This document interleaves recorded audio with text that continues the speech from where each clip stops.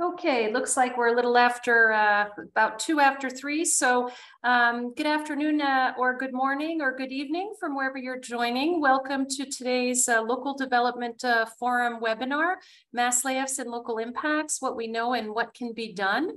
Um, so uh, for those joining us uh, for the first time, the Local Development Forum is a, uh, a network of thousands of economic development employment practitioners around the world. Um, and this is part of our uh, program at the OEC, the Local um, Employment and Economic Development Program, which is the, started 40 years ago here at the OECD to really give a local lens to important employment and economic development issues. So we're pleased to have uh, today's uh, event with a focus on um, mass layoffs and really local impacts. What does this mean for different uh, groups and places?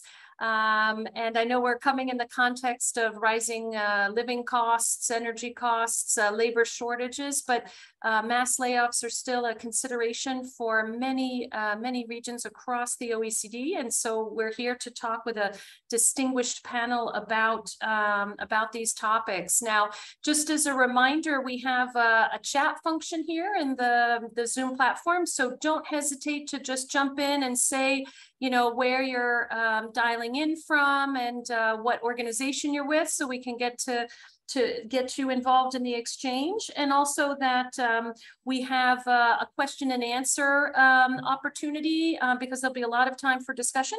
So don't hesitate um, as you're listening to discussions um, of the panelists and um, as you're thinking uh, through the debates uh, to, to put in your, your questions and we'll, we'll get to those uh, throughout the throughout the discussion. So um, today's uh, event will be broken out into sort of two sets of, of panels. So if we could just see the next slide, and I'd love to introduce the um, the, the great lineup of speakers we have.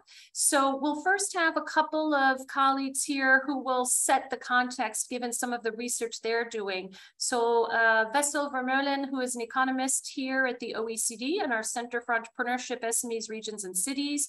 Um, and he's uh, actually coming in from our Trento Center um, out of Italy, where we have a special spatial productivity lab doing a lot of different research on um, labor and productivity issues with a spatial lens. We also will have uh, Victor Tan Chen, who's Associate Professor of Sociology at uh, Virginia Commonwealth University and Virginia in the United States, who's been doing a lot of research, um, for example, looking at uh, what has happened in communities where a lot of auto workers have been laid off, both in uh, the US and in Canada, and some other research he'll bring to the, to the debate. And then we'll have another um, group of uh, panelists who are going to jump in and uh, really talk to us about some of their um, experiences in their countries and their um, regions um, and uh, the kinds of activities that they're doing. So we're pleased to welcome uh, Mr. Johannes Kopf, the head of the Austrian Public Employment Service of Austria, who's going to talk to us um, about a very unique approach they have with labor foundations that support both in-placement and out-placement. Um, we'll hear more about that in a moment. Uh, we have Muriel Lanty, who is a Senior Vice President uh, for Government and Industry Affairs at Lee Hecht Harrison, part of the Adecco Group. And sure, her company works with a lot of different places and companies in supporting these kinds of transitions. We also um, welcome Julian Martinez Perejano, who is a technical advisor of the Just Transition Institute in the Ministry of Ecological Transition and Demographic Challenge in Spain, talking about some of the programs they have that are supporting mass layoffs. Um, uh, we also have joining us from the United States, Taylor Stuckert, who is the executive director of the Clinton County Regional Planning Commission uh, in Ohio, uh, out of the United States, who's going to tell us about a, a particular case of a, a massive layoff in, in his community and some of the economic development lessons they've learned uh, as a result. Um, and Irja Nicola, who is a senior specialist in the Department of Regions and Growth Services in the Ministry of Economic Affairs and Employment in Finland, who will share with us some of the kinds of uh, responses they've had with mass layoffs. And I think all of us have heard of the company Nokia, uh, who has uh, who has had some experiences in that um, space uh, in in past years. So um, what we'd like to do is maybe start the debate. So I'm going to welcome Wessel and Victor to the uh, to the virtual stage here. Um, and uh, again, to all of those who are participating, don't hesitate to uh, to jump in with uh, your comments in the chat and questions. So we'll start uh, maybe Wessel with you because um, the OECD has done uh, work, extensive work on the issues um, in general of mass layoffs and um, the active labor market policy responses. And um, I think we'll just ask colleagues to put a link to a report done by another group here at the OECD um, as part of the employment outlook, where they did look at um, a lot of the international comparative data on this uh, across countries and some of the labor market policy responses. And Wessel, you have really been trying to take a deep dive into what does this mean for different places. And so could you maybe walk us through some of the research that uh, you're going to be publishing soon, looking at kind of the incidence of, of mass layoffs in different regions and what is the sort of long-term impacts you're seeing on, on these regional economies? Um, yeah, sure. Thanks, thanks, Karen. Um, I would be very happy to do that. So uh, the way that I'm going to do it is I'd like to just make three points to set the scene of the discussion today. And I'll structure those around three questions. And the first question is, what's the scale of the issue? How many uh, of these, these mass layoffs do we actually see uh, across countries and time periods? And second question is when and why have mass layoffs negative effects on, on people and regions? Because it might not be all, always the case that it is such a negative thing. So I'll just uh, talk a little bit through uh, some of the, the, the, the reasons or, or, mechanisms behind it that, that can give rise to uh, some negative outcomes. And then um, the third point that I would like to make is what is the effect of mass layoffs on workers and regions? Um, and I hope that gives us a little bit of an, a broad overview to, uh, to help us uh, talk also through the, the different cases and experiences that we're going to hear uh, uh, uh, later. So first, what's the scale of the issue? So uh, in the research that, that we've done here at the OECD, um, uh, we used specifically data from uh, Eurofound. It's a, European Union institution that tracked um, mass layoff announcements since 2002. It's called the European Restructuring Monitor. Uh, and their mass layoffs are defined as a dismissal of at least 100 people or at least 10% of a workforce of uh, around 250 people. And in my own research, I also used higher thresholds. Uh, so sometimes even up to 250 uh, people being uh, affected in a specific region or, or, up to a half percentage of the local labor force, or at least a half percentage of the local labor force. So even when you're using thresholds of mass layoffs that affect at least 1 to 50 people, there are over 100 cases each year in European regions, and there are all um, there are more than 50 regions will be affected every year. So uh, this is something that is quite common uh, across the European Union, and in the United States, you will find uh, a very similar kind of number, although they will use slightly different data. But the idea is that it is just as common. We see some more cases during economic downturns. So, for instance, during the global financial crisis of 2007 and 2009, there were more of these events. But even during uh, years of economic growth, we see that mass layoffs are kind of a common feature. So when and why have mass layoffs negative effect on people and regions? So I'm, I'm trying to distinguish here three different hypothetical cases. I think mass layoffs can occur in different regional economic contexts, and not all of them mean that there is something inherently bad in the local economy. Uh, for instance, a badly performing firm may default, and then laid off workers are of course affected, but if they find employment in the region with healthy and growing firms, including with help of public employment services, both workers in the region might be better off because everyone uh, starts working in, in a place, uh, in a better performing firm. But what if a well-performing firm decides to relocate its office or plant elsewhere, uh, in another or in the same country, but perhaps in another place, or even going abroad? And in this case, you might be concerned also about spillovers to other firms. For instance, local suppliers to a downsized or closed plant will also be negatively affected. So the challenge for workers to find similar, stable, and well-paid employment can become harder because uh, there are consequences to the region. And as a third case, um, a mass layoffs might be a symptom or a consequence of a broader trend of uh, a regional manufacturing base.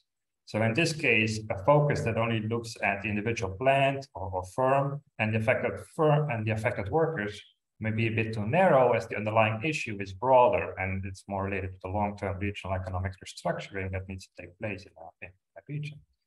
And people affected by mass layoffs in, in a region that offers little alternative employment will likely face even greater challenges in finding new stable jobs. So what are the effects of mass layoffs on workers and regions? So there is kind of a rich uh, research literature that has covered this question quite well in recent years, using data from different countries, different periods, and selecting different uh, types of mass layoffs or mass layoffs because of different reasons. Um, and I think if I if I may summarize it a very you know liberally, I would say that mass layoffs negatively affect workers' uh, long-term wage growth, and this effect becomes larger the longer is the unemployment spell of, of affected workers. And additionally, workers at a lower organizational rank uh, with fewer formal degrees or lower formal degrees and with a higher age see relatively greater difficulties in reemployment. Therefore, also in their uh, uh, in their reemployment in their wage growth of, of reemployment. Um, and people that look even a bit broader, they also find that mass layoffs can have uh, quite negative consequences on personal health and also on the communities or families. Um, in, in our research that we did here at the OECD, we looked specifically at European regions and find that on average, mass layoffs lead to a persistent decrease in employment between 1% to 2% of the regional employment. Um, so this is kind of a, a, strong effect from, for one, from one event that happens in a region. And mass layoffs that occur in preliminary, primarily rural areas tend to have stronger negative effects on employment than in urban and metropolitan regions which may be due to rural regions having relatively more shallow labor markets that make it harder to direct workers to suitable employment. Um, and then the last thing that we looked at is uh, also regional economic productivity. So to what extent that the economy is affected uh, in the region overall, not just the labor market. The picture is a bit more complex than for employment. And then as a note that the characteristic of the firm and the characteristics of the region can both affect whether the region is resilient to mass layoffs. Um, and I'm really looking forward to hear the next speakers tell about their experiences and understand what are some of these factors that can mitigate Uh, the negative consequence of mass layoffs of workers, communities, and regions. So just to recap, the three questions. What's the scale of the issue? It's quite large and very common across many countries during times of economic growth as well as economic downturns. When and why mass layoffs negative have negative effects on people and regions. So the ability of workers to find suitable employment is really key. So the regional economic base to absorb the workers that were affected and the resilience of a region to a single firm that closes or scales down um, are likely very important factors in, in understanding what are, uh, how strongly a region is affected. Uh, so what is the effect of mass layoffs? So really on average across time periods and countries, mass layoff affect regions employment quite negatively. And understanding better what public policies in different countries and different types of regions can do to mitigate the impact will be quite relevant for, for places that face the same challenge. So thank you, Karen. That was that was my first setting of the scene. Great. Thank you so much, Wessel. And I should just maybe flag to everybody that your background is actually the background of the, the lovely Trento Center of the OECD um, in Trento, Italy, a former uh, uh, convent, correct? So um, yeah, that's right. Yeah. Okay. Excellent. Thank you so much, Wessel. So um, thanks for giving us a sense of the, the sort of frequency and some of these long-term impacts on particular regional uh, labor markets, which um, some of the later speakers in the panels will also be able to speak directly to exactly how this has impacted uh, those communities and what has been done. Um, I'm excited to welcome Victor Tan Chen. Um, and Victor, you've been doing a lot of uh, research looking at um, different sides of the North American border between America and Canada, in particular in a sector that has experienced mass layoffs such as automotive. So um, Victor, why don't you tell us a little bit about the research and the kind of comparative situations of different groups and communities that you've observed in your research? Sure, and, and thank you to Karen, Anna Rubin, and Sorrel Stewart for organizing this and inviting me.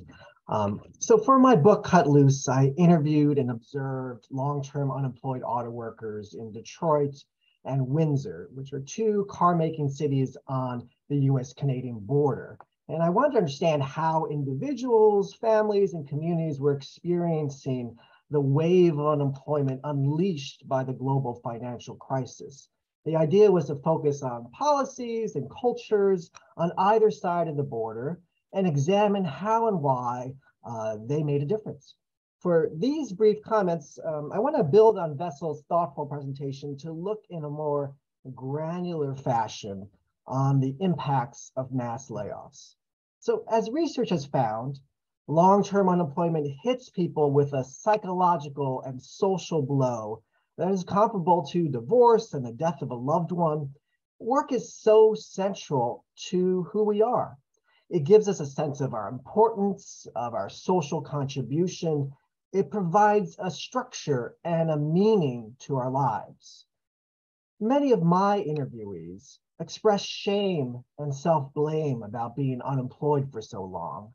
This wasn't usually an issue right after they lost their jobs, but as weeks dragged into months and months even into years, a sense of failure and despair took hold of them. Take Gary, an American worker who lost his job at a car parts factory. Afterward, Gary and his wife started arguing often about money. At times, the stress became so much that Gary wanted to disappear. Quote, just be a bird and fly, as he put it to me. He said he probably should be seeing a therapist, but given the patchwork healthcare system we have here, Gary couldn't afford insurance for himself and his wife and his two children. They were left to fend for themselves. The problem was Gary never finished high school. Like many working class young people in industrial towns, Gary got a job at the plant with his dad's help. He had been there just two months when his glove got caught in a machine and a chain ripped off three of his fingers. Even after his accident, Gary stuck with his job. It was just too hard to give up those good factory wages. Gary insists that he had no control over the loss of his job, but when he talks to his family and feels their disappointment, he can't help but blame himself. Quote, I think about my past and mistakes I made, he said, like the time that I felt getting money was more important than my education man, if I'd focused my attention somewhere else, I could be somewhere else now. My research found that Canada's universal health care and generous job retraining programs made it easier to cope with long-term unemployment. Support for working families, especially single parents with children, went a long way to help the kinds of households usually hit hardest by unemployment. I want to emphasize here that income supports are an important part of helping workers transition from job loss, but cultural and psychological supports also matter greatly. Indeed, the unemployed American workers tended to feel more self-blame, which may have to do with a more individualistic culture here. And this is important because the workers I talked to with the most intense problems uh, dealing with unemployment, those who were suicidal or taking antidepressants had a high degree of regret and self-blame.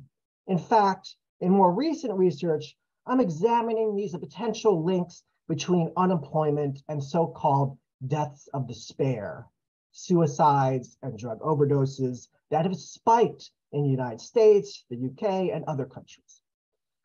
I also found more self-blame among unemployed workers who were not closely connected to organizations like unions. Through programs like action centers that are sponsored by unions and staffed by their unemployed workers, unions can offer a crucial source of social support. Take John, another American former auto worker. As a child growing up in Alabama, John was abandoned by his young parents. He never finished school. Instead, he moved to Detroit and found a job in a unionized plant. But John was not really a fan of the union. He blamed it for protecting the interests of mediocre workers. He didn't see unions or governments as any kind of savior. Instead, he relied on himself. Quote, as long as you believe you're going to be all right, he told me. Keep a smile on your face, keep your head up. But as we continued our conversation, John began to break down. Quote, to me, it's real bad, he said, because my job was like my mother and father to me. It's all I had, you know. All my life, I depended on my job as my mother and father. If I could only make it every day, I know I'm all right. His company's decision to terminate him wounded John, but he never really blamed the company. They were just doing what made business sense. And yet, as John's unemployment dragged on, his inability to side with the union against the corporation that had laid him off meant that the anger fell on him. It's all my fault, he said. Finally, my research suggested how both policies and culture mattered in how mass layoffs affected communities. Job losses had multiplier effects that went far beyond individual households. Restaurants and retail stores were obviously affected by the loss of clientele, but so were charities, advocacy groups, and other nonprofits that relied upon generous individual donations and volunteers, both of which are reduced by long-term joblessness. This had cascading effects on the capacities that communities had to help their most vulnerable citizens. Furthermore, recent research links job losses in a community to higher rates of mortality, including drug overdoses, and changes in rates of marriage, childbirth outside marriage, and child poverty. What I also saw in my research was a larger culture of judgment that blamed the unemployed and poor for their predicament and attacked unions and government policies that sought to support them. This culture, which was stronger on the American side, made the situation needlessly political and hindered pragmatic approaches to deal with the unemployment crisis. In conclusion, differences in both policy and culture matter for how individuals and communities cope with mass layoffs, and we need to be attentive to all these factors. Thank you.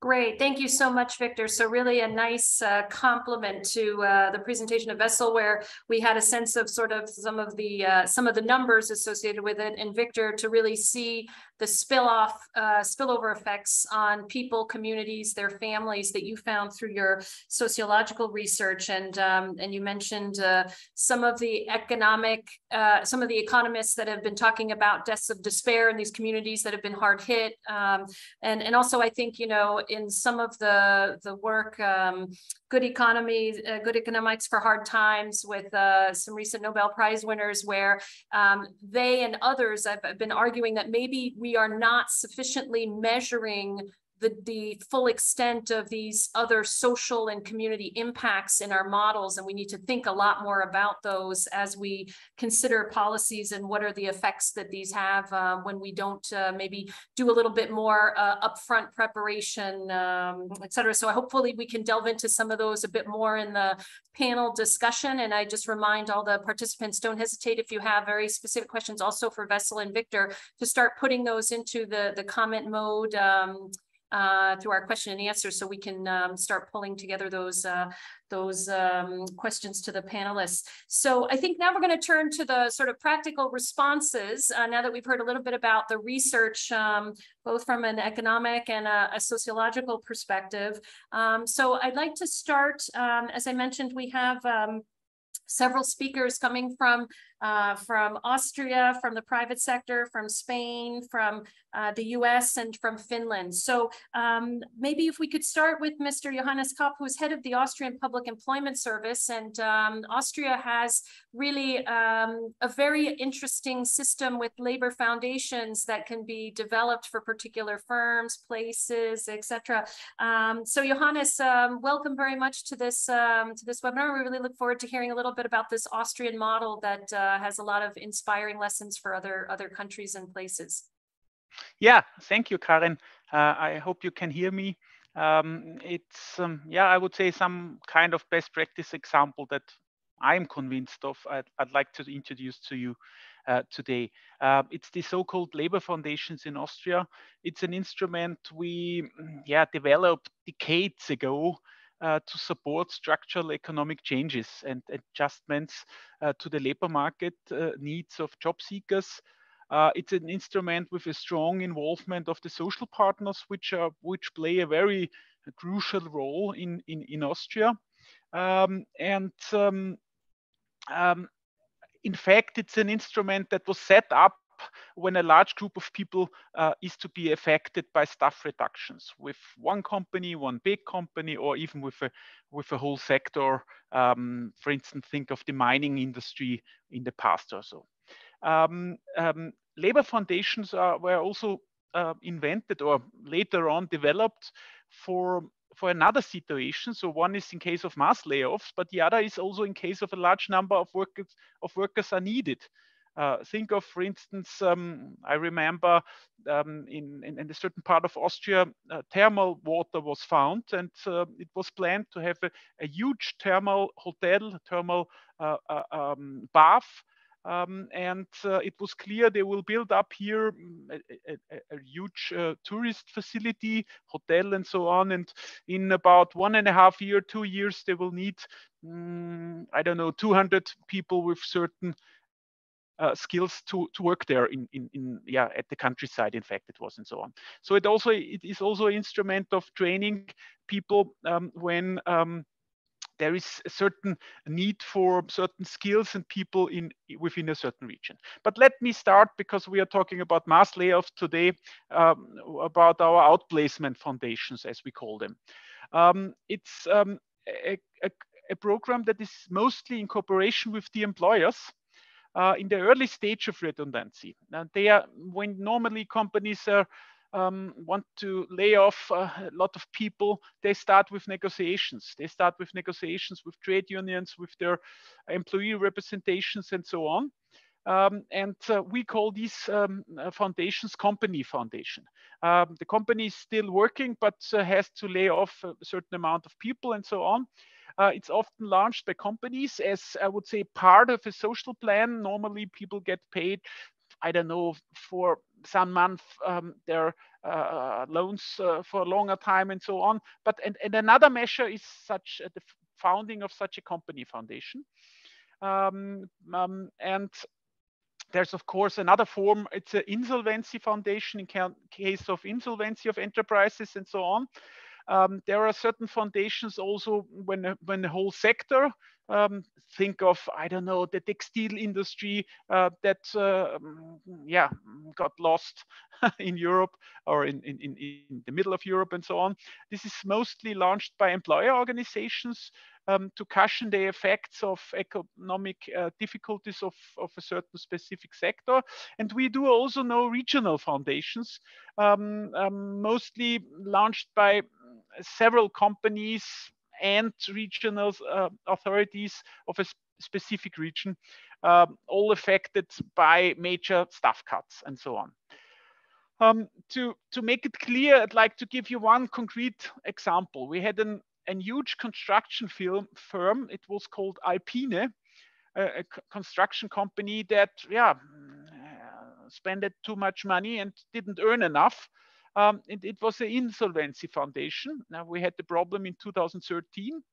Um, it was um, clear that about, I think at that time it was about 6,000 people, workers, mostly men, male workers, were be uh, affected of layoffs.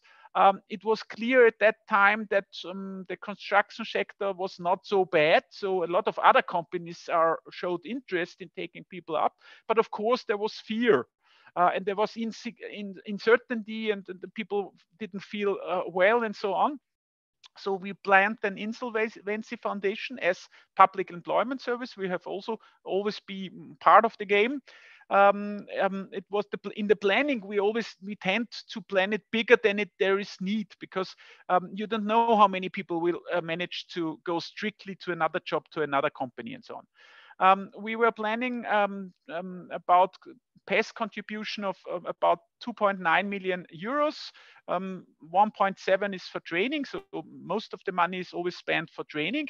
The rest for other measures such as job, job search support or uh, certain benefits and so on. Um, we of course agreed on something like success criteria. 70% um, of the participants should be employed after three months um, after exiting the foundation. And the normal, it's concrete. In, in concrete, it's about um, um, yeah training um, and developing the skills of the unemployed people. Um, to, to find a job in a, in a different sector or at a different company. Um, Alpine, I like this example because labor market was excellent, taking many, many people up. At the end, the maximal participants were planned 700. At the end, there were just about 60 participants. Um, about 50 of them uh, uh, successful completed their training measures to learn in many cases completely different uh, uh, professions.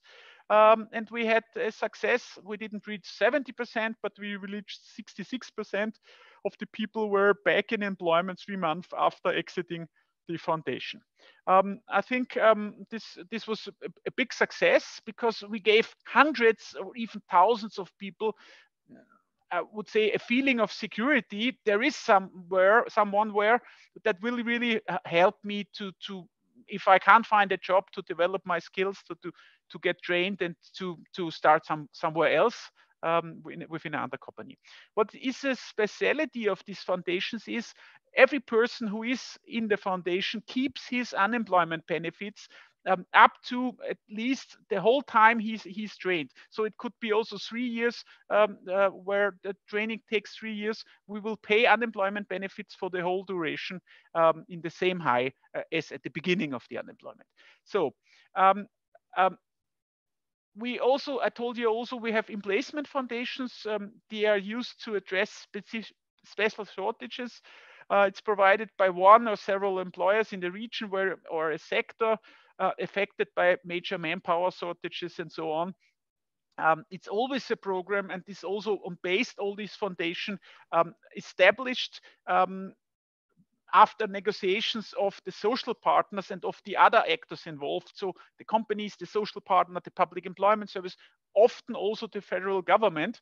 And this brings me, I would say, to the most interesting point I would presume for you is, is the financing or funding of these uh, uh, uh, of these labor foundations. Um, the costs have to be covered um, at, at, at, a huge amount by the involved company um, and um, or the territorial authorities. We want them to be partner because this is a regional territorial problem, and we also want them to to to to show it up with financing, and of course also the Public Employment Service, my organization, um, uh, is is a co-financier. Uh, in the Outplacement Foundation, um, the fundings available for career guidance and training um, um, um, um, pay uh, mostly the work of external providers. they assist people by their job search, uh, by their training, and, and, the company pays the related costs. We, as a public employment service, pay the unemployment benefits, even for a longer time than on normal. In the implacement foundations is also of costs, um, um, um, there are a lot of costs that have to be fund, uh, uh, taken by the companies that need the people after two years. So think of a factory, a huge factory is built someone where, and then they need technicians for it. So we, we train them one and a half year before they open the company and so on. Um, the funding ranges from 35 to 60 percent uh, from the companies. Of course, in a, in the case of insolvency, uh, only the public uh, uh, uh, public hand pays the costs because the company is uh, already gone down. Um, and um, as I said, we can pay the unemployment benefits um, up to three years. If the training takes longer or the participants are more older than 50, we can pay even to the amount of four years. Uh, uh, unemployment uh, benefits. And the people with that are within the labor foundation get some, I would say, small extra money uh, to cover training related additional expenses. Um, so this is about 60 euros a month and so on. All in all, it's a very successful instrument that is developed and worked for decades. And I would say this is a best practice example from Austria. Thank you. Thank you so much, Johannes. Maybe just a quick follow-up question. Um, in your experience, um, you know, you mentioned a lot of the different training opportunities that can also take um, several years. Um, what's been your experience with maybe some of the older workers um, or workers that maybe didn't have um, an educational background that allowed them to shift as easily. Um, there's always questions about what what you know, maybe some younger workers, it's easier to shift than older workers. I don't know if you have any um, any reflections or thoughts on that particular yeah. group. Um, it, it really depends. There is no overall answer because it really depends on labor market situation, region, and labor market needs. Um, in some cases, think of, I don't know, textile workers. Um, we wouldn't be able to place them as textile workers anymore. So it's really about learning a new profession. Uh, and that could be something that has an interest that has gone lost during uh, becoming an adult. Uh, for instance, in the techni technic uh, technical uh, interest, or it could be, I don't know, in the health sector or something like that. So really often a complete different profession. In other cases, it's um, uh, think of industry worker, where with the right qualification in, in, in with, in, with, I would say, low skilled people, it's often only about six months a year. It's just, I would say, something like an upskilling uh, to work on a CNC machine, for instance, or something like that, or um, welding, uh, certain modern welding professions, uh, uh skills, or such, such a thing. But you're right, it's not easy, and not everyone says, "Yeah, training, that's great." um, so it's also often, and that's what I also call uh, these additional costs. It's also a question of working with the people, showing up chances, consultancy, giving advice, convincing them that there is need and it's it's useful um, to, to learn something else and so on. Uh, and then they also need a placement uh, service, of course. Uh, in, in, in a good market situation that like Alpine, in my example, it was very easy. I mean, 60 people were left and 6,000 were, were, were uh, affected by the layoff. Six, six, this is, I mean, 1%. Uh, this was easy. I remember another huge uh, uh, uh, foundation, labor foundation. This was an, a very small, I would say, old, small food supermarket. and there were small shops and there was no investment for a long time. And they were all over Austria, but they were all too small to really make money. Uh, and then it was sold to another investor, but he had not really money and he invested a bit, not enough to modernize his shops, to modernize the IT system, to train their people, and so on. Uh, and they were all over Austria, and even in small regions. Uh, and when they closed their shops, this was hard. Many of the workers were unqualified women, mostly at the age over 50. So it was even harder to, to, to find something. And in many cases, there, there was no alternative company. There was no supermarket then in this small village. It, it was closed and this was off. So, and with these programs, but we found, gave them IT courses and suddenly they found somewhere in, a, in an office, they found a place or in another shop for selling clothes. They just needed to have, I would say, an IT school, uh, IT uh, course for um, uh, in the trade sector, the new, uh, I don't know, billing system or, or online trading or such things. Uh, uh, but yes, of course, in some cases it, it doesn't work also. But it's a really good example. And, and one thing is very important. They get the money, the unemployment benefit for the whole time to make a completely new profession. Could last up to four years, which is not bad, especially for training someone to the health sector, for instance, even if they are 50. So they can three or four years learn a complete new profession. This was all invented by closing of state industry uh, from mining, from from metal in the in the 80s, where huge companies with too high uh, wages were not competitive on the world market anymore. There it was invented, and now we use it, and I, it's often really that the people will not get the practice uh, uh depressive, like Victor said. There is some one word that really helps him, give him a new opportunity, give him training, give their daily structure, and so on. So we are really we're quite happy with that instrument. Great. Thank you so much, Johannes. Um, we're going to move on to the next panelist, but I just wanted to flag that uh, I think uh, there uh, is interest in learning a bit more about these uh, issues you raised on the territorial approach and um, what to do in maybe the more rural, less dense labor market. So maybe we'll we'll hold that for the the group discussion um, for all of us, but just to to flag that um, in the background. Um, and next we have Muriel. Um, so Muriel. Uh, I think what would be really great, you're Senior Vice President of Government and Industry Affairs at Lee Hecht Harrison, and you're dialing in from Zurich today, is that right?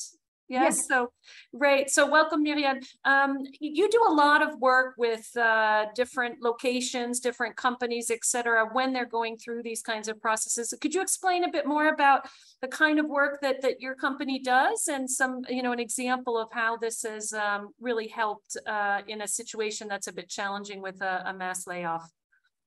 Yes, wonderful. Thank you so much. Thank you and hi, everyone. Thank you for having me today and delighted to uh, well contribute to uh, to the conversation with our perspective from um, from our work, um, enabling about half a million individuals to find new jobs or reinvent their career, as we sometimes say.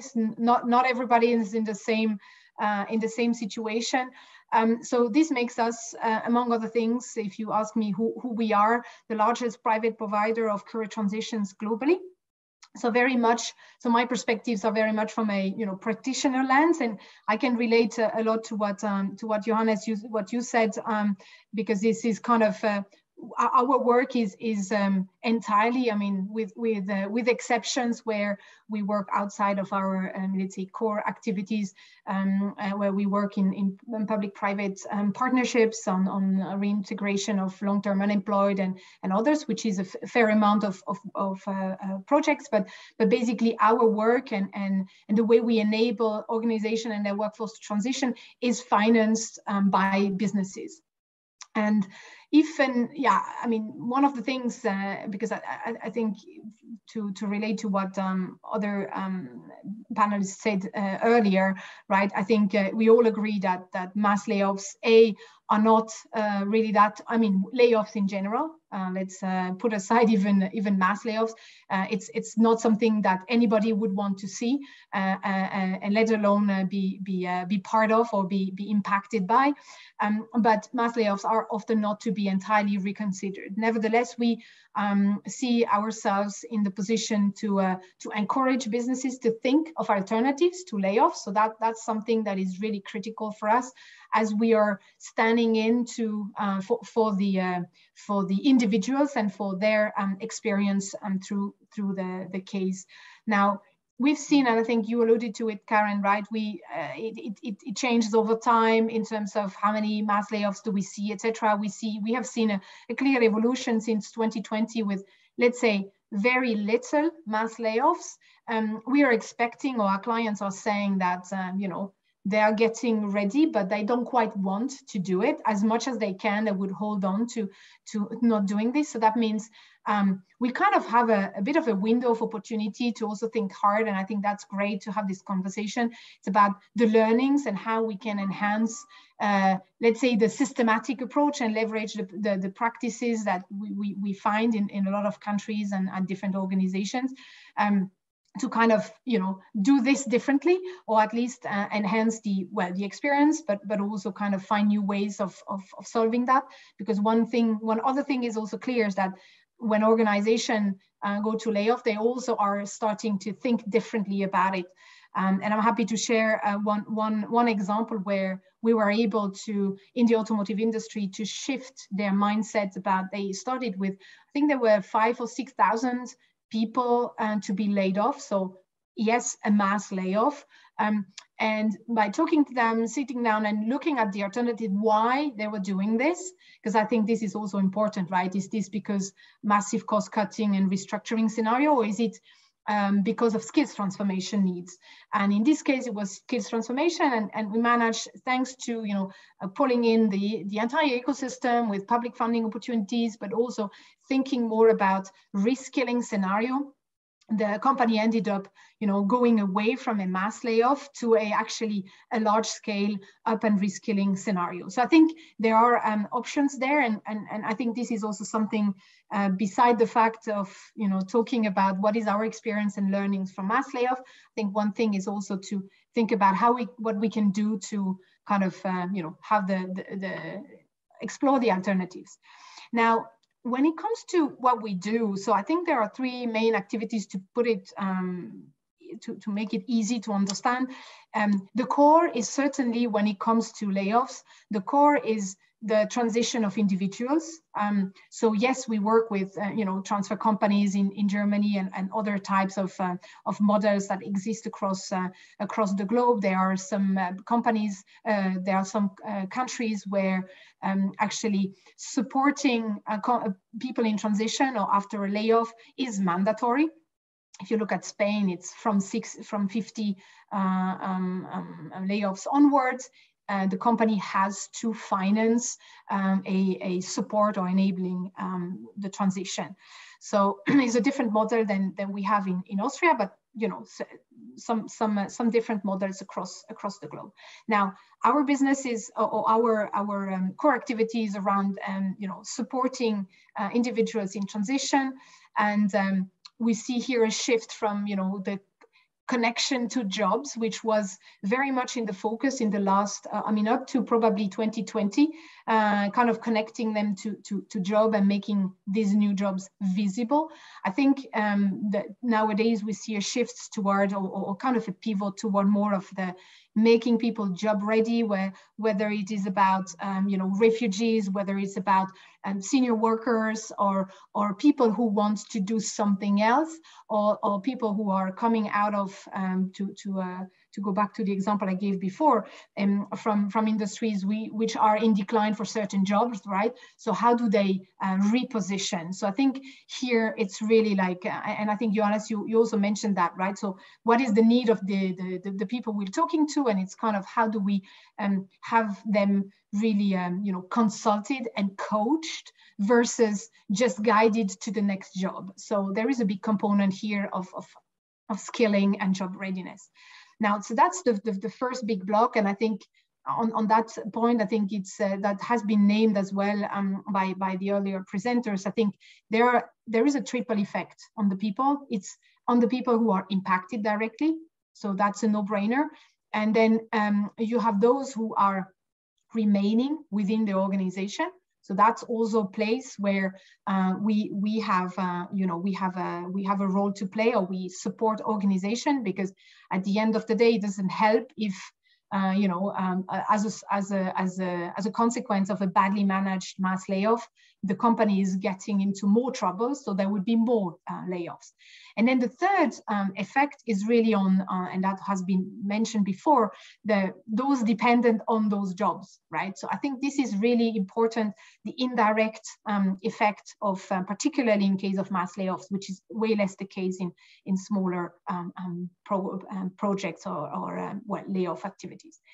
So that's for the one kind of one activity. The other activity um, is around upstream or what I call flanking support. It's more around a transformation consultancy, restructuring consultancy. So it's all about, you know, workforce strategies, the example I gave before in terms of trying to, I mean, exploring what are the alternatives to layoffs but also the whole work about, um, I mean, with the trade unions and works councils to see how we can reconcile the scenarios and make sure that you know there is an assurance that the people are being looked after. And then the third piece and i think this is a, a, a, a in my view an important one that we uh, we not enough talk about is when a, what we call it reindustrialization. Um, so that's one word but let me explain a little bit because there there is also there, there are other um, terms we can use in that context. So it's the whole piece around when a closure needs to happen or happens, whether it's closing of a plant or it's a part of the business that, that, that closes. We help or reindustrialization or revitalization or however we want to call this is, um, is the, the, the, the part about mitigating the impact on both real estate and people. Um, and so it's working with the employer and um, partly also with public authorities, but then it's uh, more prospective and it's more revitalization. But it's really about taking over the facilities and workforce. So it's looking for a new buyer, if you will, a new project to be attracted.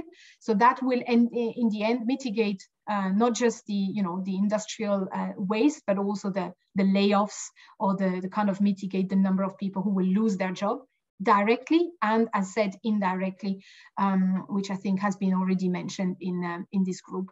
And then so that's really um, the, the, the biggest part of our work where we work with employers. But in many instances and we would love to see that more often where um, we partner with communities and, and public authorities in regions to either do that when the company is not in position to or even to anticipate and energize an economic area which is heavily dependent on, on one employer.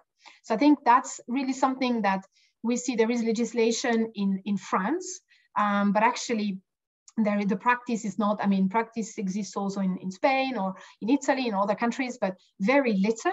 So I think I'd love to hear like feedback also from, from uh, the people uh, listening and, and, and from the panel, whether, um, you know, we, we can talk a little bit about, about that.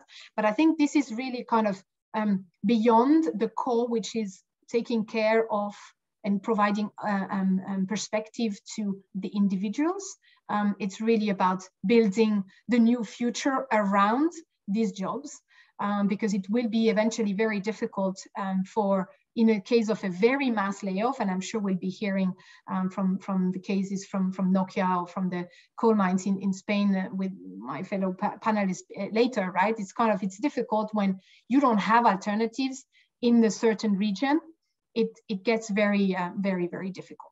So if you allow me just um, a few more minutes, just wanted to share three learning. Yeah, Muriel, could I ask you just to, because Julian has to leave at uh, four o'clock. Right. Could I, could I ask, we'll go back to that maybe in the discussion. I apologize for that, but I, um, I wanted to get to Julian on the, exactly some of the examples that you were mentioning um, uh, on coal mines. Um, um, Julian Martinez Berajano, you um, are working for the Just Transition Institute, and um, some of the work that you look at is really thinking about these places that are experiencing a mass layoff that is part also of um, uh, of sort of an ecological transition. And I know you have to, to run soon. So why don't you just share with the group a little bit some of the experience that Spain has had and some of the lessons that you have for colleagues based on your experience and apologies that uh, um, it's uh, a bit tight on time, but look forward to hearing your, your thoughts from Spain.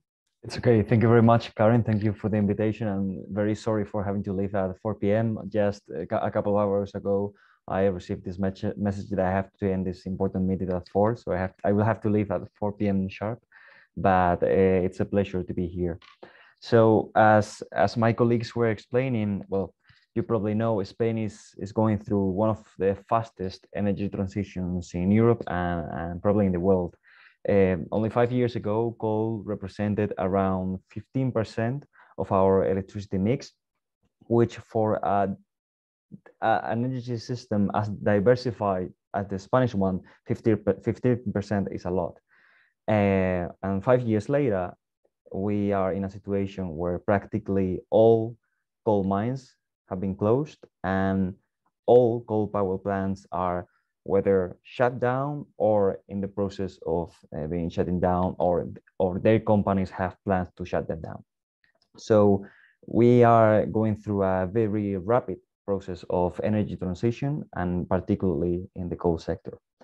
And of course, this has a very, a huge impact and on workers that worked in, in coal mines and coal power plants, right? In 2018, we had around 5,000 workers in, in, in, this sector, um, whose, whose sector is, is disappearing. So, so they, I think the interesting lesson learned about uh, our case, uh, about Spain, is that we are we were going in, in, under a status quo scenario. This was the typical mass layoff a scenario where you have a sector that is closing down entirely and is being reconverted into uh, renewable energies and whatever other economic activity.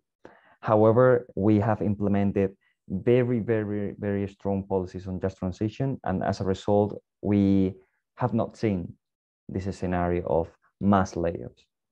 We are seeing a scenario of uh, challenges uh, on transition of workers, but we uh, have avoided a scenario of 5,000 people being uh, kicked out of work, let's say. So how do we do this? well, in the first place, um, when we saw that coal mines and coal power plants were about to be shut down or were in the process of doing so, we sat down with all the main actors involved. So energy companies, coal companies that uh, coal mining companies that have not gone into bankruptcy, and trade unions. And we signed an agreement for the coal mining sector and the, for the coal power plant sector with these actors, so trade unions and companies, trade unions and companies. And in these in these agreements, we we achieved to have every party contribute in the, in, in the extent of their competencies um, for a just transition for affected workers and affected regions, right? Um, so what did we do in particular? Well, in the case in the in the case of public authorities, the Ministry of Ecological Transition, uh, first of all, we created the Just Transition Institute, which means that the, our ministry have a directorate general solely devoted to just transition issues. That in itself is a, a interesting piece of governance and how to manage the transition. Right. Um, so for coal power plants workers, we one of the the main achievements we got is that we we um, energy companies committed to relocate every worker uh, that, that worked for us um, in their own company.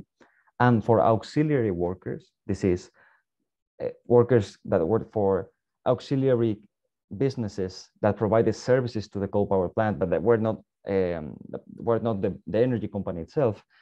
Energy companies committed to prioritize these auxiliary workers in dismantling activities and alternative investments in the region, for example, in renewable energies.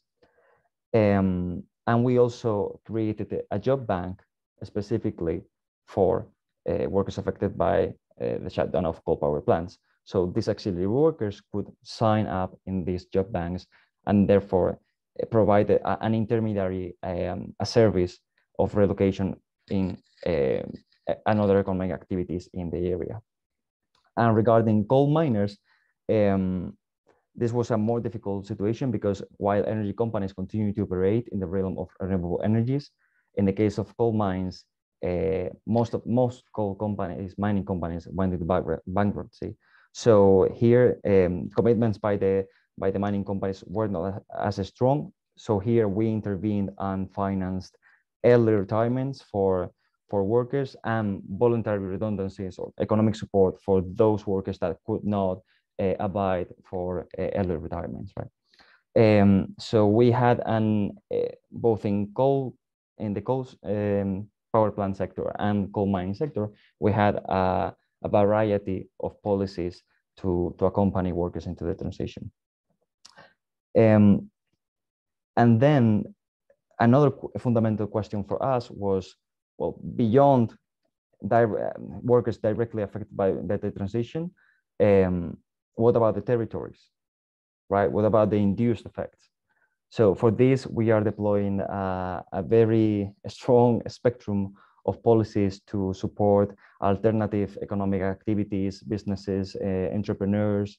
We are supporting municipal projects and infrastructure, infrastructure projects to improve public services in these areas to attract other businesses and population that for them to want to live in, in cold regions.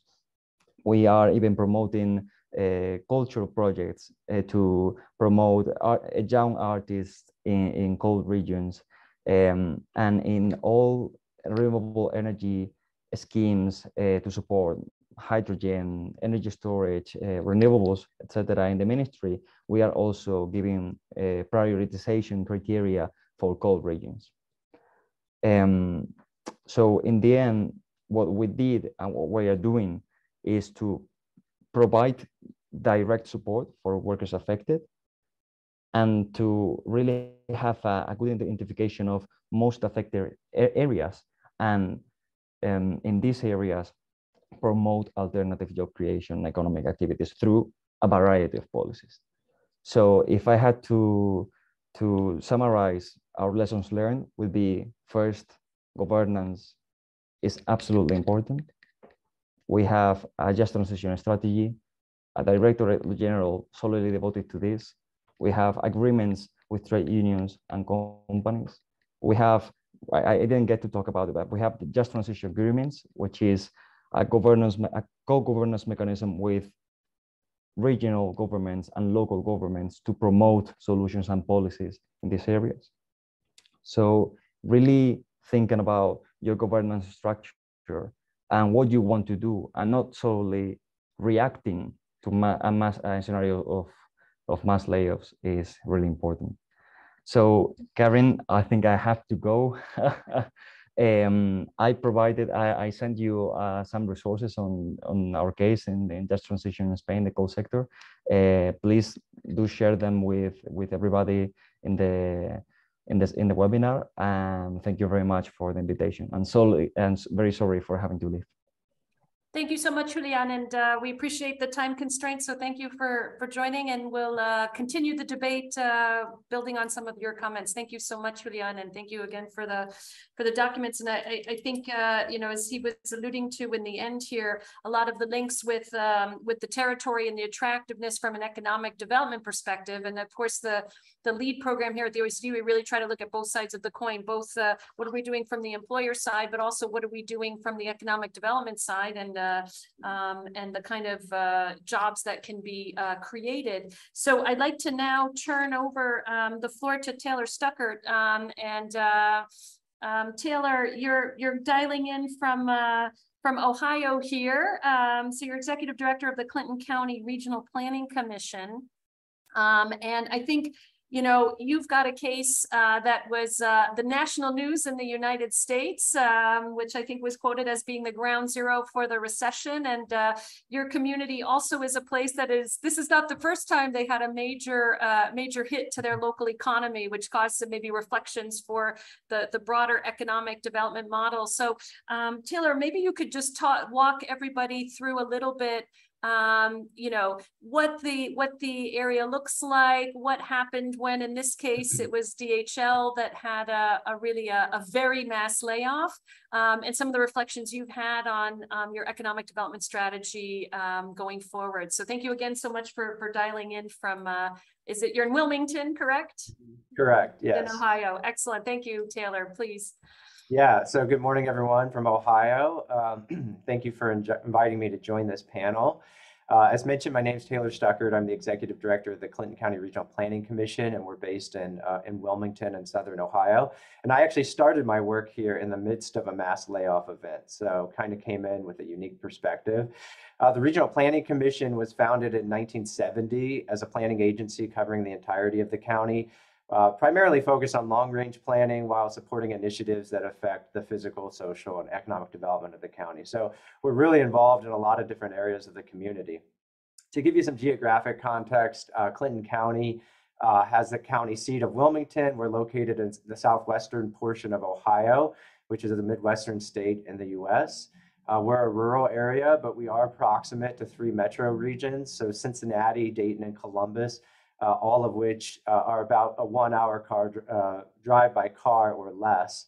Uh, Wilmington's population is a little over 12,000 uh, residents, and Clinton County has a population of about 42,000. And our population's been pretty flat over the last few decades, and this was even the case uh, during many years of economic growth in the county. and I'll talk a little bit about that later on. But um, physically, the city of Wilmington is like many US rural towns. Uh, we have a discernible urban core surrounded by uh, vast amounts of agricultural land. Uh, what makes Wilmington unique, uh, if you look at it on an aerial map, you'll see the Wilmington Air Park, uh, which is about 2,000 acres or about 800 hectares. Uh, it's about, it's nearly the size of the town itself. the air park began as an Air Force base in the 1950s uh, which, as Karen mentioned, uh, was decommissioned in the early 70s, which in of itself was a scary mass layoff situation, has its own unique story. Uh, but eventually, the air park was acquired by Airborne Express in the early 1980s. And Airborne grew about 2% every year. And in 2003, uh, sold the air park to shipping company DHL, um, which received nearly half a billion dollars in incentives to locate its domestic shipping operations to Wilmington. Uh, and DHL invested nearly a quarter of a billion dollars in the facility uh, in their time here. Um, they provided so many jobs, 10,000 at its peak, uh, that workers had to be bussed in from around the region. Uh, to, the air park accounted for over a third of the jobs in our county. And there was at least one employee from over half, uh, 45 of the 88 counties in Ohio, working at the air park every day. And it was the largest source of employment for a six county region. So it was a very large single site employer in the state at the time. In the fall of 2008, uh, DHL announced, due to a combination of factors, that it would be swiftly closing its Wilmington operations. Uh, and as Karen mentioned, Wilmington made headlines during the Great Recession with nearly 10,000 uh, people losing their jobs pretty much overnight. Uh, we were thrust into the national media spotlight. This is right as the Great Recession was starting to gain traction. Uh, and we were labeled the ground zero or poster child of the Great Recession by uh, many national media outlets um, who were covering the story. Um, and while the main story was the unprecedented uh, mass layoff event, for those of us working locally in economic development and planning, the story really was much more complex and dynamic and, and is much more complex and dynamic than that. Um, you know, it became qu- uh, clear that uh, through the years of prosperity that we really failed to nurture the entirety of the economic ecosystem. And we were, as we like to say, intoxicated with the air park and the jobs that it created. Uh, this caused us to overlook uh, some of the underlying insidious side effects that come with such a large, homogenous source of economic activity. Uh, caused us to ignore many of the warning signs of economic vulnerability. And while federal, state, and local leadership provided, you know, a lot of the traditional top-down strategies uh, for addressing economic disasters, such as job placement, skills training, educational opportunities for affected workers, uh, many of us were really encouraging a more nuanced response to this mass layoff situation. Uh, and considering many of the symptoms and economic vulnerabilities that existed in the lead up to the, the mass layoff, uh, we our work really focused on identifying ways that the community could adopt an economic redevelopment strategy that it would address not just the need for you know jobs, but also the areas of economic vulnerability that have been uh, overlooked for many years. Uh, simply put, our efforts were really focused on addressing the leakages in the local economy rather than just economic inflow. And it was an attempt to provide a response that was locally driven, more bottom up, rather than relying exclusively on top down traditional redevelopment strategies. Um, as I mentioned during the DHL days, the economic inflow from in commuting, economic multipliers, residual activity, was really quite powerful and plenty. And, and as I stated, so much so that it was quite easy to ignore any of the leakages or underlying economic challenges that had been accumulating through the years. Some examples of these issues uh, were things such as declining local entrepreneurship, lack of small and medium-sized employers, uh, which were historically crowded out due to the vacuum effect that the air park had on local employment, we had, uh, as I mentioned, too, struggles with population retention and attraction, very stagnant uh, population, even with years of economic prosperity. So people were not moving, many were leaving. Uh, we had an issue of brain drain and declining educational attainment. I think this kind of uh, aligns a bit with what Victor was describing. Um, a lot of our workforce sort of uh, were focused in low skill job opportunities that did not offer a lot of alternatives should they lose their job. Um, other economic leakages, such as energy production inefficiencies, uh, undeveloped economic opportunities, such as leveraging our agricultural base to build a more robust local food economy. Uh, and, and we, through this work, we developed a suite of programs that touch each of those areas and more, and it would take a whole webinar to cover. But the important takeaway uh, is that this work really started with community conversations about these challenges and opportunities in the face of the mass layoff event. Um, the severity of the crisis really created a unique opportunity and created the space for the community to come together to have conversations that we were not having. Community was not engaged in economic development, and this created that opportunity. Um, and this experience, and in general, an over reliance on one employer or a dominant sector is something that many rural communities across Ohio and the United States have and are still experiencing. Uh, following the loss of DHL, the air park was donated to our county port authority, and at that time had four employers and 750 employees, and today it's grown to 15 employers and 35 employees. So we're seeing a lot of that diversification coming out of this event. One of our goals has been to allow for our situation to really be a lesson, not just for ourselves, but for other communities of the dangers of traditional economic development strategies that place an unhealthy and strict focus on job growth without aligning to other community values or priorities or strategies that build resiliency in the economy rather than increasing vulnerability and exposure to the conditions that can cause mass layoffs. Um, and as I mentioned Karen in the lead up to this, you know, a lot of people locally really like to, to think we would like to put this, this layoff event behind us and, and focus forward. But uh, many of us working in planning and development in the community really um, view this experience as a valuable reminder of the blind spots that can develop in economic development strategies. And we, we continue to utilize this experience to inform uh, our future economic development planning. So uh, that's kind of the background. Uh, I'm happy to share more about maybe where we are today and, and uh, speak to some of the other panelists if we have some time, but thanks for having me.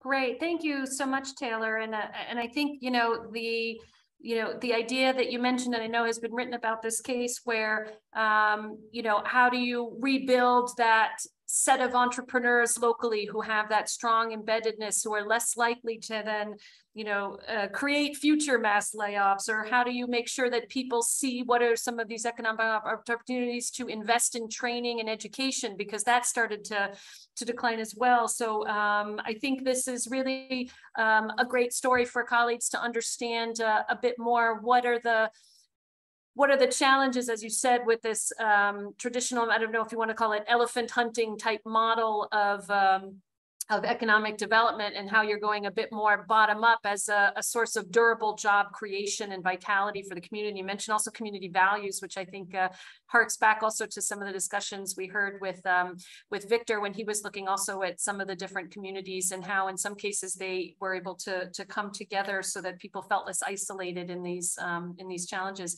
Um, I want to turn uh, now to uh, Arja because um, Arja, you have a case um, with uh, with Finland, and you've had um, support also from I think the European Globalization uh, Adjustment Fund and looking at different cases. But um, Arja, you've you've also had a, an interesting situation where you had mass layoffs, but also on the high end uh, in terms of the skill spectrum. Um, and so this was sort of a big a big change for how you do work uh, in Finland in, in addressing some of these mass layoffs. So welcome again, Arja, to, to joining us from Finland um, and look forward to hearing a little bit about some of the adjustments you made when you were experiencing these mass layoffs in Finland.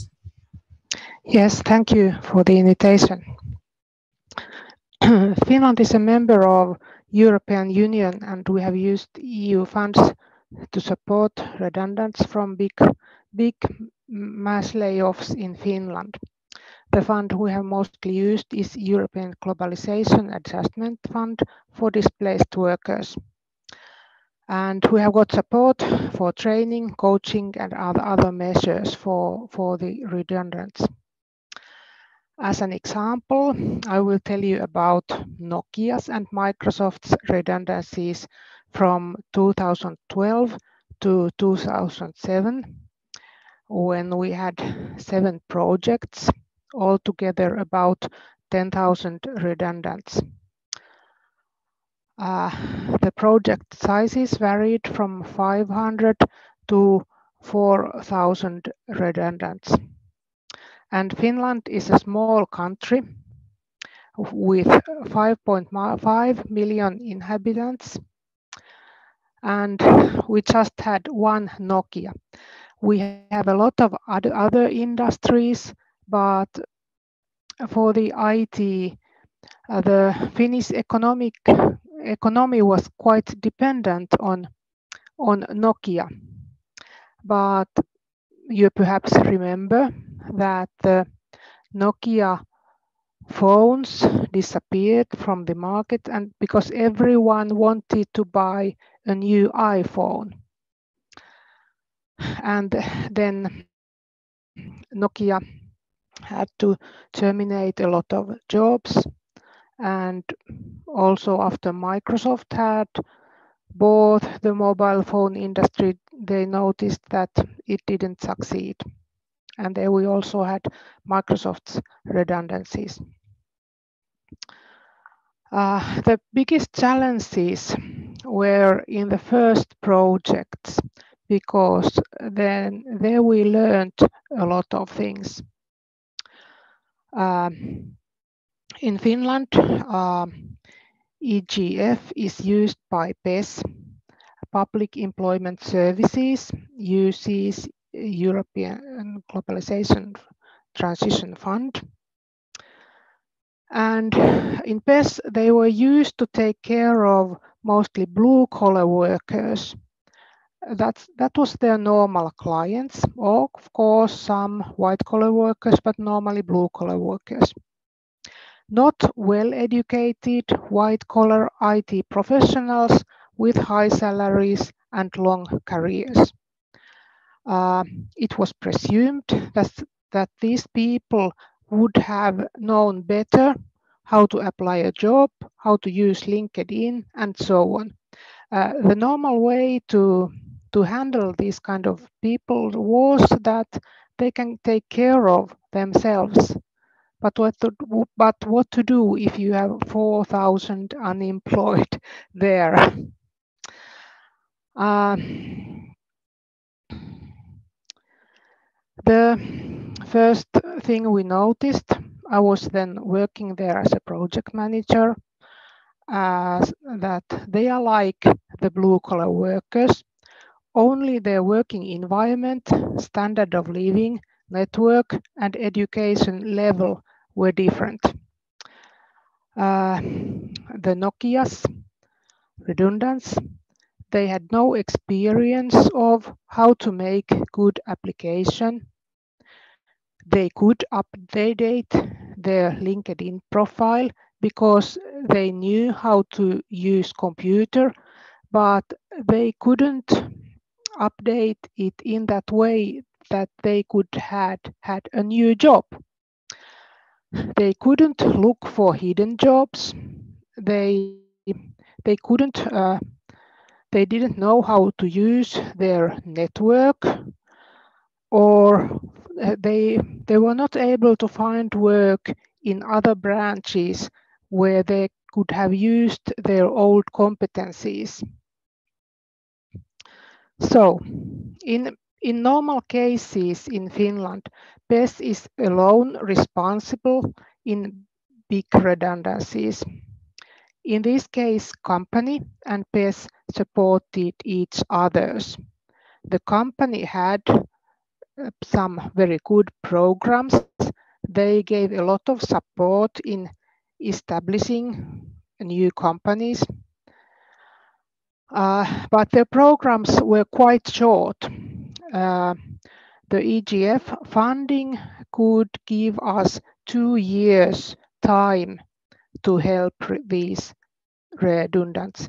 It wasn't always we didn't always need the whole time for every, everyone, of course, but but it was very good for some people that we have we had that that two years. Uh, EGF funding was used to buy tailor-made trainings for IT professionals.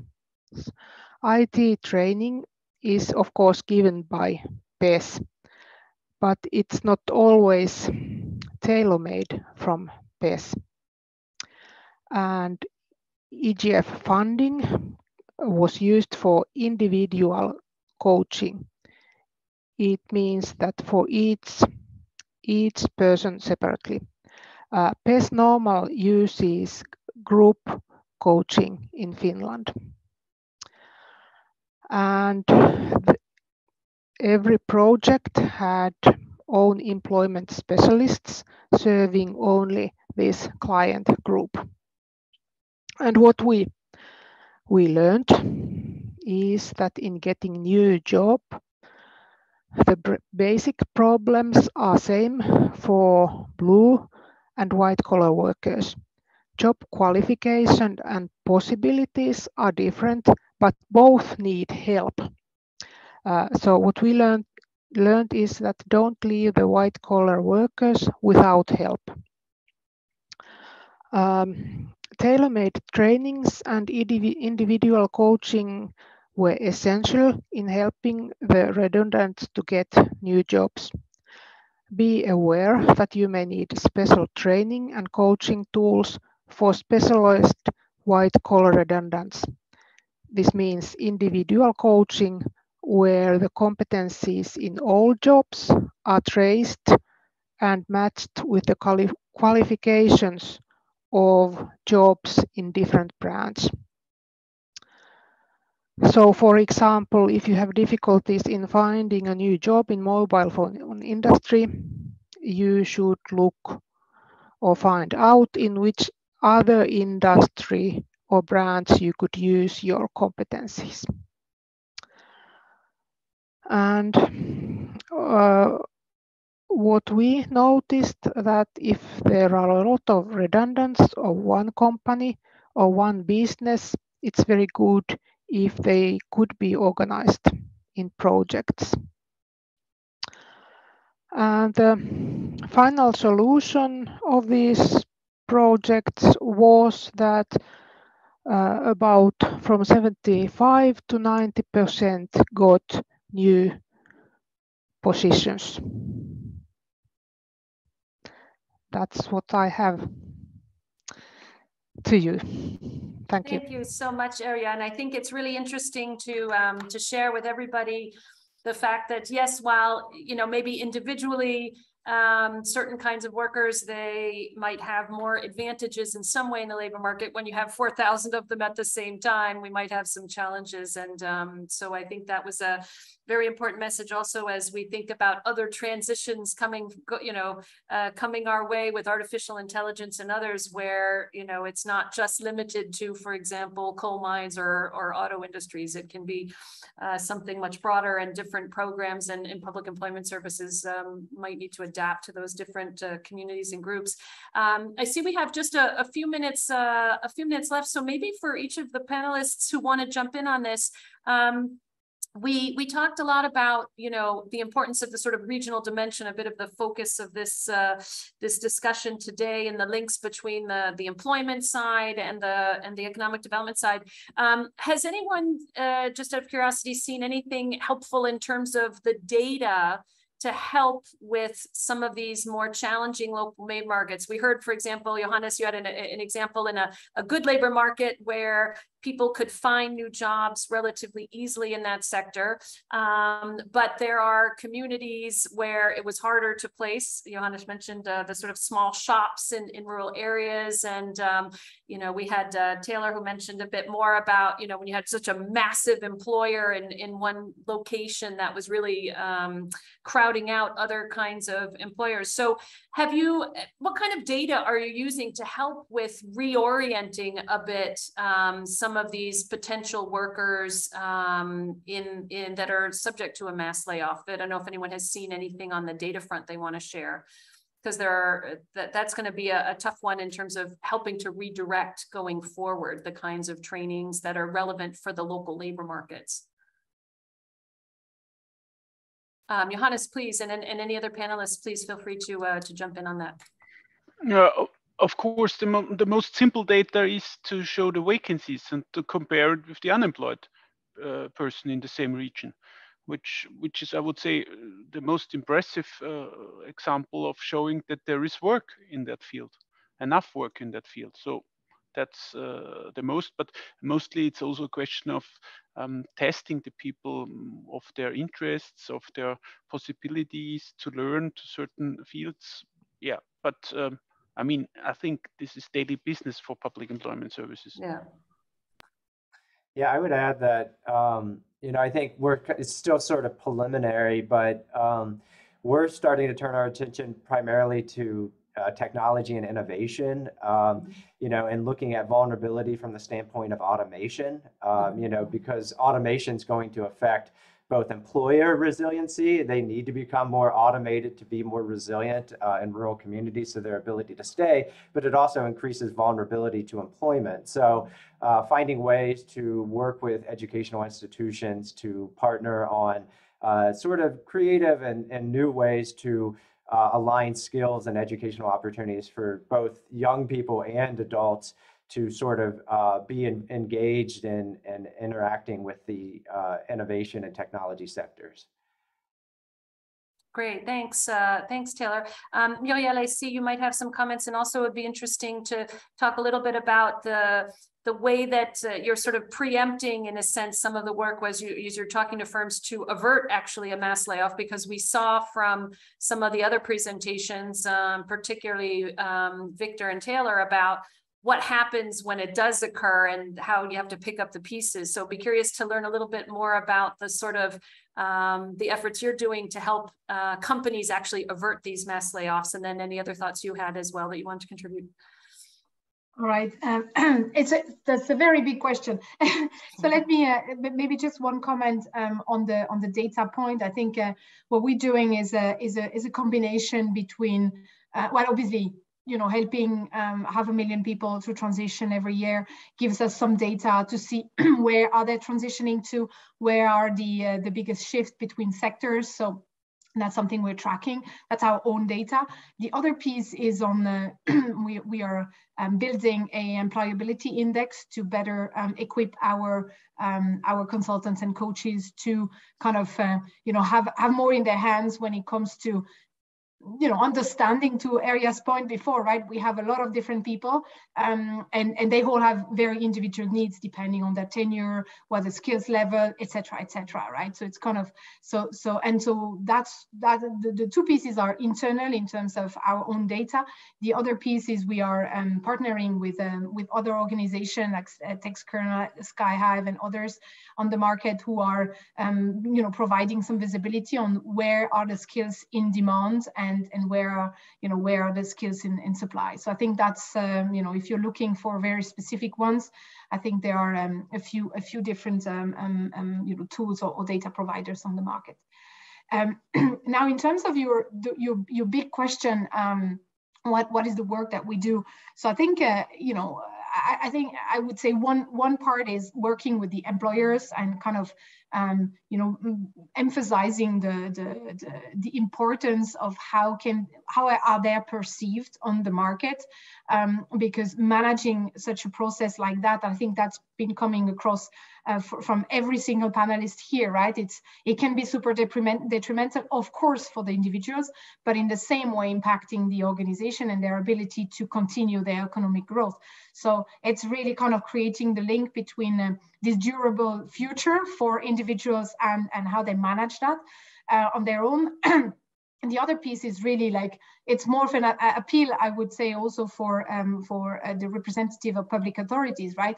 How thinking about how do we um, and i think johannes you mentioned something like that as well uh, in your in your speech about how do we create these incentives without impacting necessarily the taxpayer? As in how do we call for the employer's responsibility in the whole let's say sustainable employment and kind of um, agile labor market um, and their ability or their responsibility from the start to the end of the employment and how you know how they can work with that. And i think an example a good example here is on in france where there is this um, um, um, um uh, the obligation for an employer to, in a case of a, of a significant layoff, to come up or to compensate for the loss right or the economic impact on the region. So i think these are the elements where you know um, it, it, closes the circle in a certain sense right? There are lots of actors um, on, on the market to support when it's happened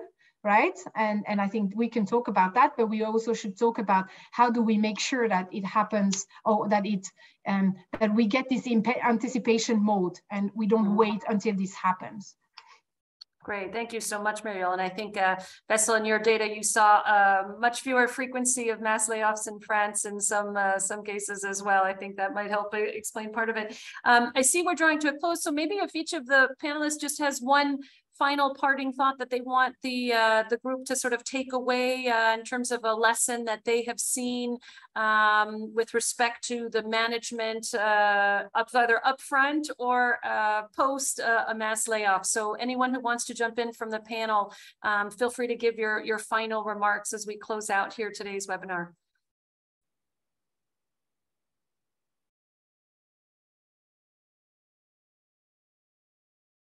Yeah, so I, will just jump it off. So I, I mean, I, of course, I looked at my research at what is the negative consequences, but I think what I take away from this from this interesting discussion that we had today is that there are so many um, margins where there is the resil resilience in a community, and they can think about policies that can uh, look forward to to anticipate that such things might be happening in the future, prepare people in the appropriate way. But even if you are not anticipating, there are ways that you can transfer people internally to other jobs, other sectors, uh, and keep them in the region and, and, have opportunities to make them do better. But of course, the economic circumstances in the region are, are, are very important to, to make that successful.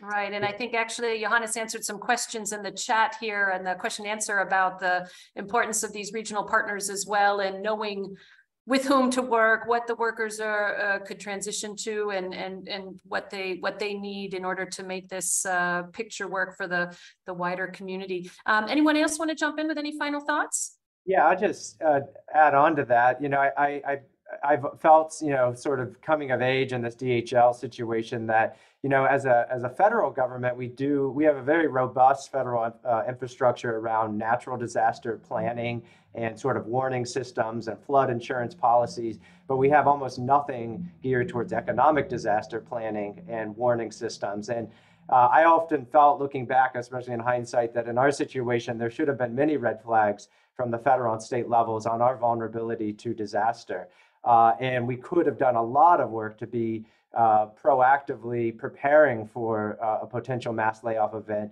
and how we might you know respond to that and how we could be sort of planning ahead and, and building some resiliency while we had prosperity building. So it's certainly a, a key takeaway from our situation.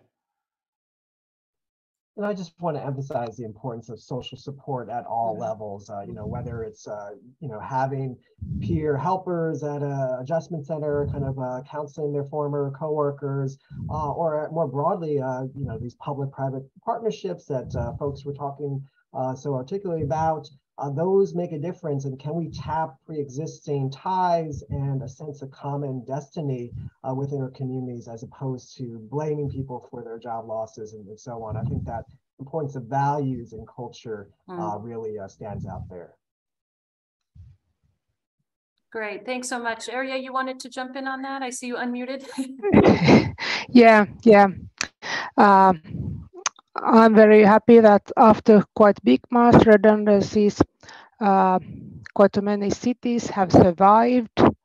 People have survived, they've got new jobs. There's always something uh, positive happening, although, although it's quite difficult situations also. Yeah, I think this resiliency point was really coming out, I think, in a lot of the, the remarks. So I just want to uh, thank all of you, Johannes, Taylor, Muriel, Arja, uh, Wessel, and, and Victor, and Julian, who joined us uh, a bit earlier. Thank you so much for this uh, really um, dynamic discussion today. Um, so we'll follow up uh, to those who were uh, joining in the webinar with some of the materials. And if any of the panelists want us to um, also send links to, um, to colleagues in a follow-up email so they can learn more in depth about some of the different items you raised during the call. Um, we look forward to doing so and thank you all again uh, for your uh, participation here today and look forward to, uh, to circulating as well when uh, Wessel's paper is published a little bit more about some of the quantitative evidence we have uh, at the regional scale. So um, look forward to seeing colleagues at different uh, future events of the Local Development Forum and um, wish everybody a nice morning or afternoon, wherever uh, time zone you're calling in from uh, today. Thanks again. Thank you.